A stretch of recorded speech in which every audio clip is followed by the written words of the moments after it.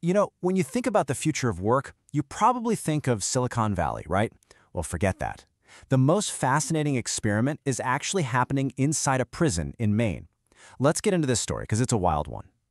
So, meet Preston Thorpe. He's a senior software engineer, been coding since he was just 13 years old. And he gets it. The tech world, it's pretty much a meritocracy. All that matters is, can you do the work? Can you write the code? And for him, that one simple fact has been an absolute lifesaver. Get this. Preston is making over $100,000 a year. He's even bought a house. But here's the kicker. He's doing it all from his cell at the Mountain View Correctional Center. Yeah, where he's been incarcerated for over a decade. That sounds impossible, doesn't it? So how on earth is this happening? And what could this mean for the entire idea of rehabilitation? That's exactly what we're going to unpack right now.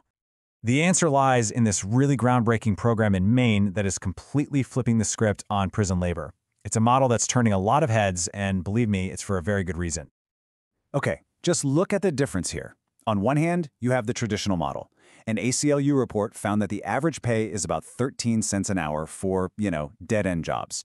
But then you have Maine's model. We're talking market rate wages, 10, 25, even more per hour for real 21st century skills like coding and grant writing. They're working for actual tech companies and nonprofits. It's just a different universe.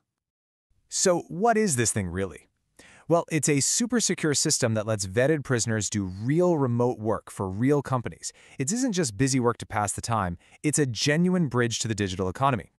And here's the nitty-gritty of how it works. Inmates actually apply for these jobs, and then they work on specially configured laptops in supervised areas. And when they say monitored, they really mean it. We're talking restricted internet, absolutely no social media, and literally every single keystroke is logged.